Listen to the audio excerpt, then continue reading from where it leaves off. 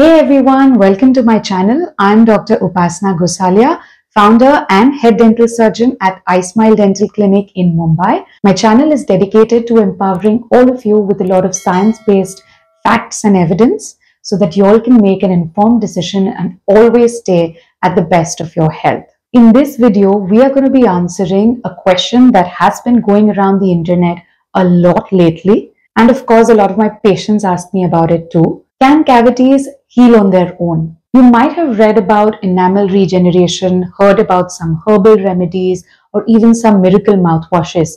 But is there really any truth to this? So let's break it down in this video for you, simply yet scientifically, so that you know what's a myth and what is medically possible. But, but hold on. Before I do this, let's make this a little interesting. Why don't you pause this video for a second and let me know what do you think. Leave it in the comments below. Do you think cavities can heal on their own? Comment your yes or no and by the end of the video, I'm sure you're going to be surprised. So let's start with the obvious. What actually is a cavity? I'm not going to bore you, but just quickly run you through this. Cavity or tooth decay is nothing but breakdown of your tooth structure caused by some bacteria in your mouth. Now your mouth has got millions and millions of these bacteria and when you have a diet which is rich in sugars or carbohydrates, what happens is it sticks onto the surfaces of your teeth and then these bacteria in turn feed onto this sugar and carb high rich food and as a process of their metabolism, they release some acids which in turn cause tooth decay. Over time, these acids just wear out all the tooth layers one by one, starting from the outermost layer, which is the enamel, then proceeding to the second layer, which is the dentine, and lastly, the innermost layer, which is the pulp. But not all cavities are the same. There are multiple stages to them, and the secret of healing lies here. Because the earlier you spot them, better are the chances of reducing the damage or even healing them. So let's dive in. So the first stage is demineralization. In this stage, what you will spot is a small white or a brown lesion. There's no actual loss of tooth structure like the enamel, but there's just a little bit of demineralization which has happened due to the acids as a byproduct of the bacteria. The good news here is that at this stage, your cavity is still reversible. Yes, it's possible. So what are the next stages? And are they reversible or not?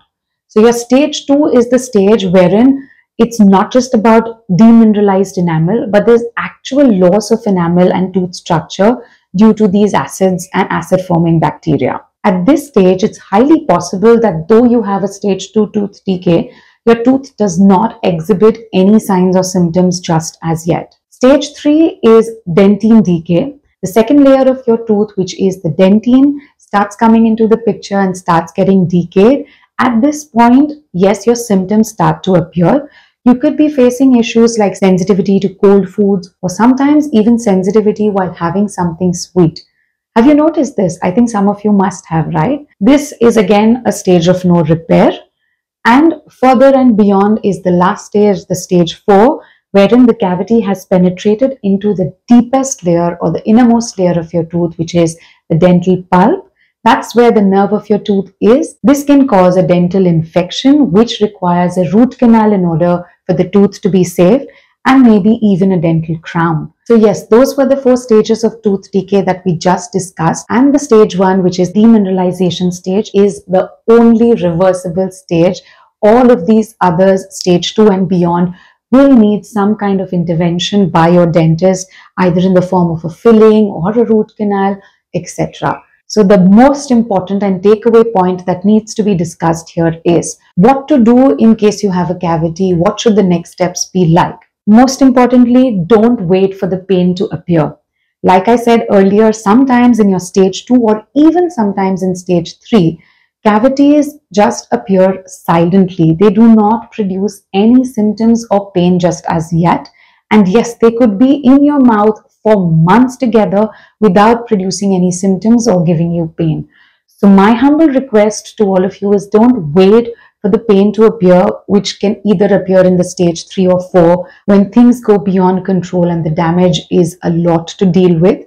You rather visit your dentist timely, I'd say every six months, so that something which can be treated at the early stages with lesser damage to your tooth and of course less expenses does not flare up into a full-blown cavity with tooth destruction needing a root canal etc. So don't skip out on those dental visits. So the main question now, if cavities can heal and this is reversible, how do I do this? How do I achieve this?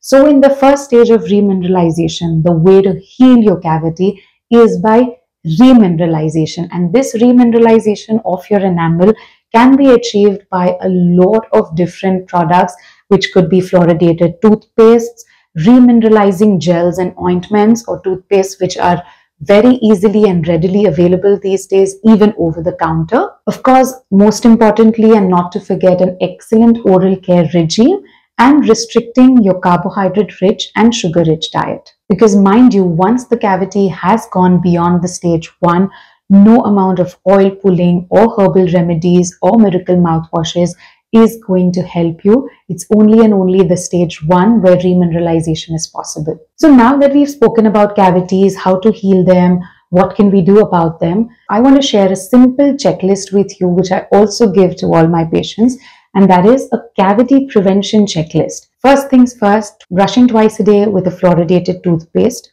flossing daily, Using a mouthwash, especially after your meals and never after brushing. Yes, this is important too. The timing is key. Rinsing your mouth after having any acid-rich food.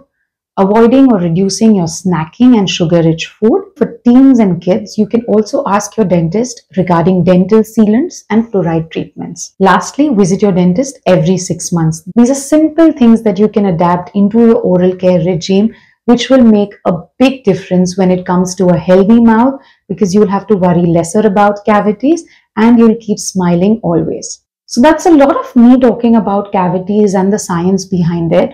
Now let's get you talking. Have any of you had a cavity in the past and got a filling done? Let me know how it went. Or even worse, did you have a cavity and actually delay your appointment because of dental fears or anxiety? How did that go for you and what did you end up with? Please let me know in the comments below. I love hearing from you guys and I try and make sure to answer all of your questions.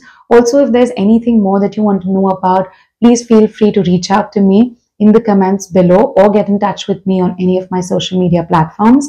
And of course, don't forget to subscribe for more such interesting content and videos. And like I say always, stay healthy and keep smiling.